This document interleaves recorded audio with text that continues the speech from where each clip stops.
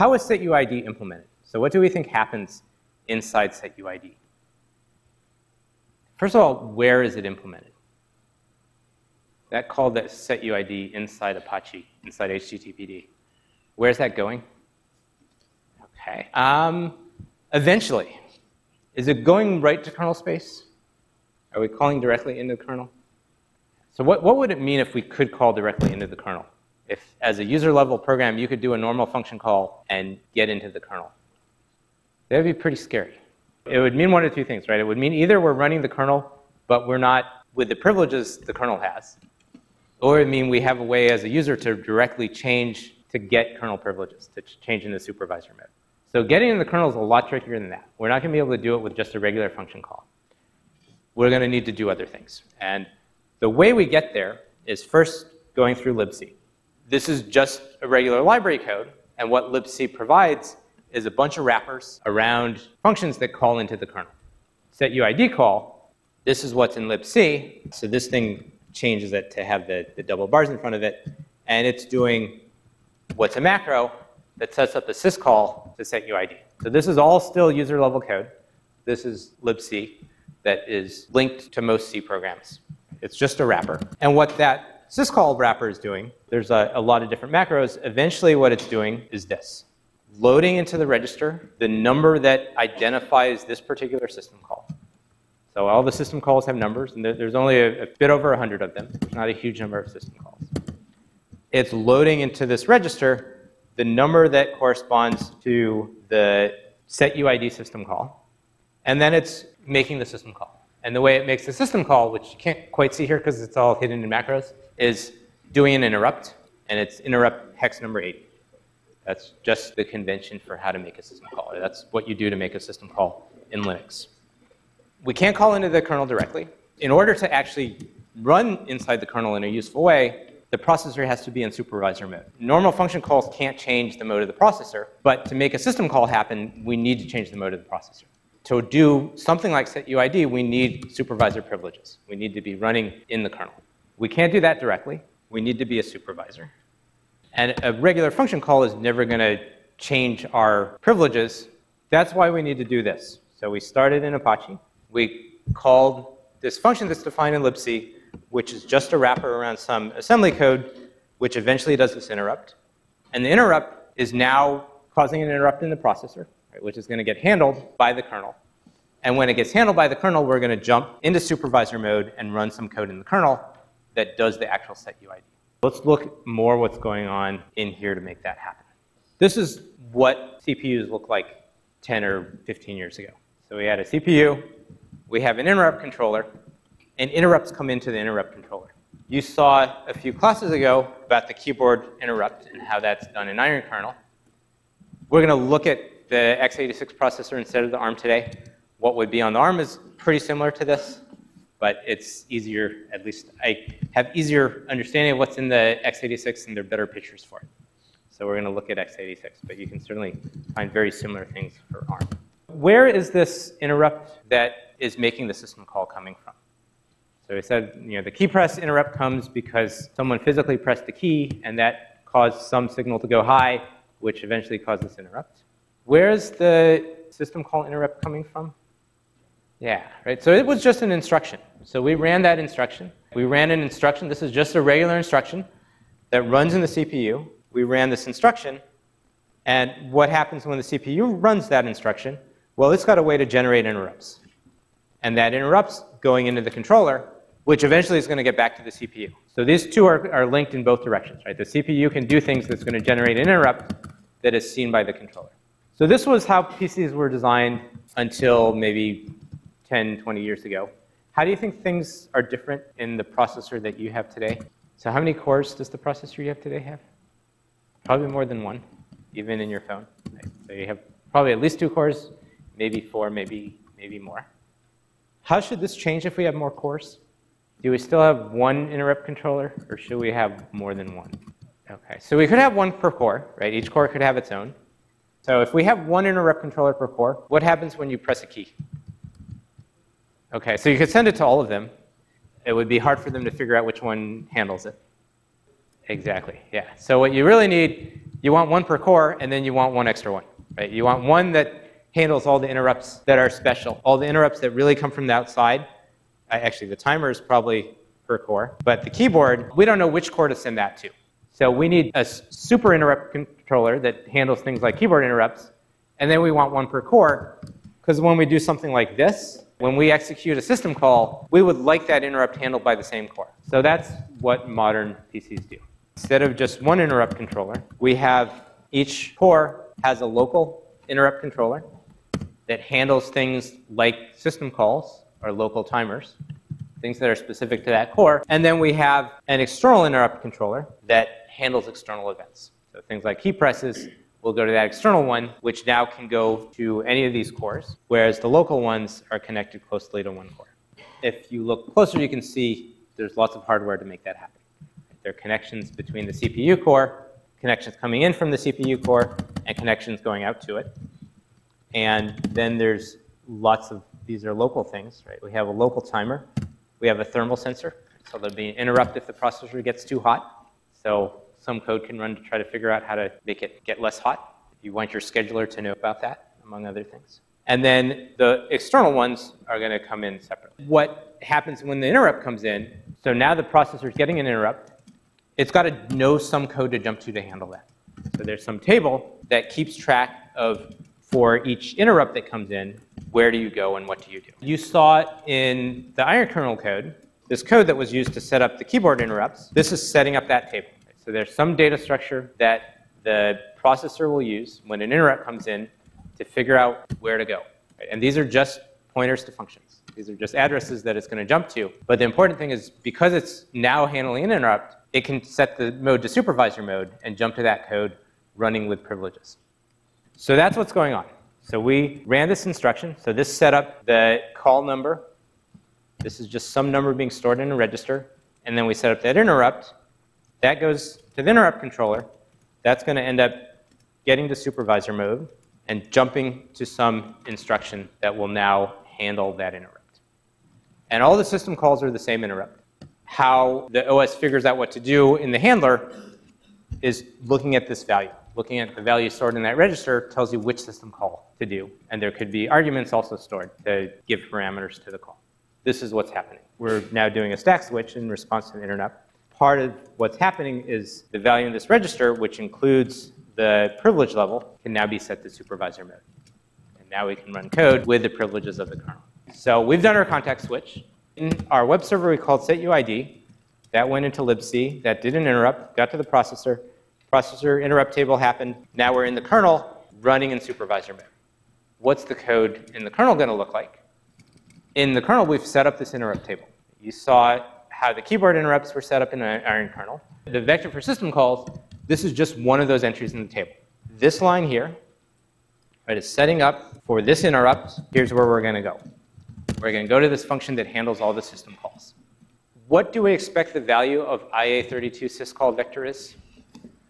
We're setting up a line in this interrupt table that says if this interrupt comes in, the IA32 syscall vector, we're going to jump to this code, and that's the code that handles all the system calls. So that should match the interrupt that is a system call. And if we search the code, we should be very happy to see that it does. This is interrupt 80, which by convention, or by how Linux is implemented, is the one to do system calls. But there's nothing special about interrupt 80. If you want to add system calls to iron kernel, you could pick some other interrupt number that's not used for anything else and make that your system call interrupt. Or you could do something different and have multiple system call interrupts for different kinds of system calls. But this is what Linux does. So we've got the interrupt. This code is in assembly, so we're not going to look at it. But there's some code that handles that interrupt and is going to look at the value in this register in our AX.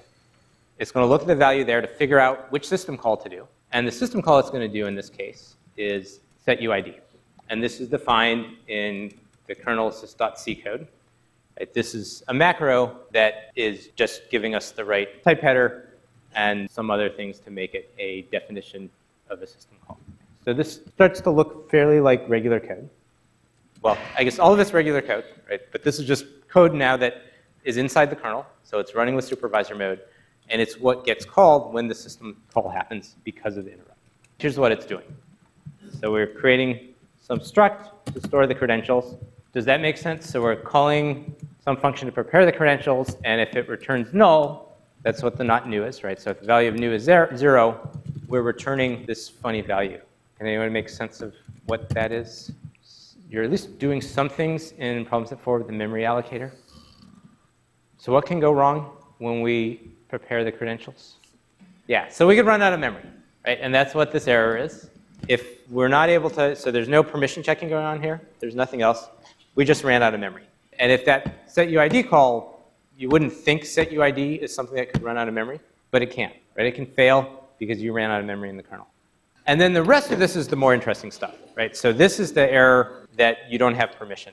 And it's setting it to this. This is not like the Apache code that is written to be easy to understand and be confident that it's correct. This Linux kernel code is much harder to read and not really for good reasons.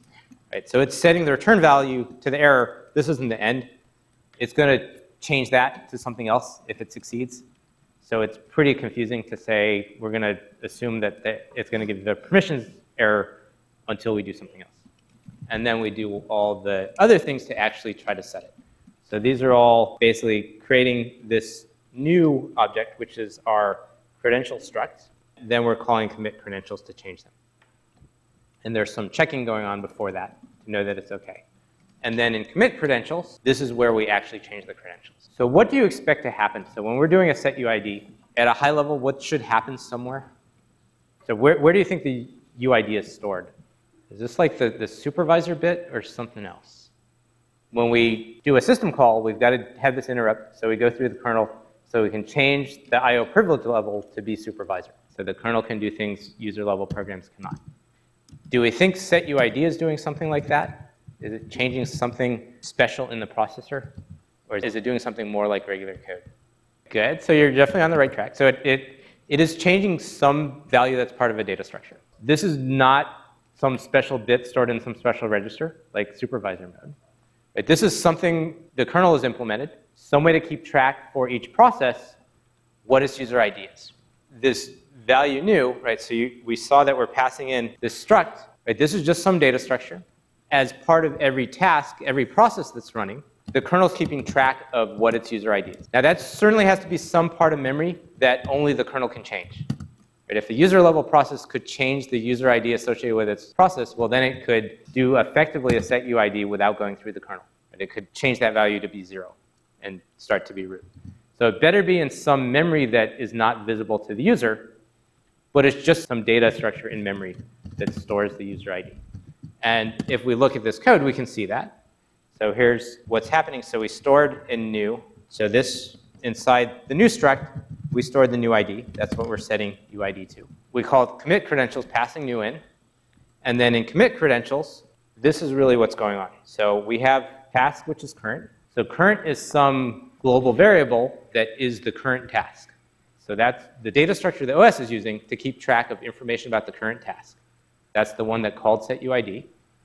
And what this, actually, so there, there are two. Right? Within the task, there's some field that stores its credentials, and we're assigning new to that field. And new is this new struct that has within it the UID that we're doing the set UID to. So this is just changing the value in some data structure. Nothing magic going on. Does that all make sense? So there are a lot of steps, right? Set UID seems like a pretty simple system call. All we're doing is changing really one value stored in one data structure. But in order to do that, because it's something protected by the kernel, well, we've got to go through this interrupt. Right, so what happened, we called setuid. It went to libc. We had this interrupt. We got to our interrupt table, jumped to the CPU, set to supervisor mode, jumped into the kernel, ran that code. What happens after that? Do we return like a normal function call? How do we get back to Apache? If you remember all that code that we looked at in the SU exec, all of those tests that we were doing before it would do the exec v, well, that was all after this set UID call. It just looks like a regular function call in the Apache code. So how do we get back? Do we just return? How far are we going to get by just returning? There a call stack to return to get back to Apache? So we can't just return back because we've got to actually jump back to user mode. So we're going to do a context switch. This is similar to what the scheduler does. Every time the scheduler switches which process is running, right, the scheduler has to know which process is running to set up the register, to set up the processor in the right way, and then jump to the right instruction to run. And in this case, we've got to jump to the instruction there.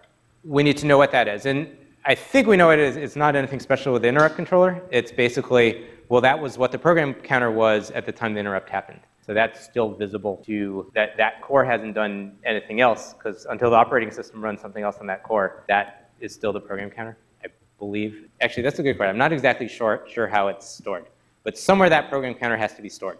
When we return from the syscall, and it's actually going to return not directly to here, it's going to return through libc, and libc does some things to clean up after the syscall, and then it does a normal return to get back to the code in Apache. And then we go on running just like normal. We're back in user space. Everything's set up just the way it was before that call.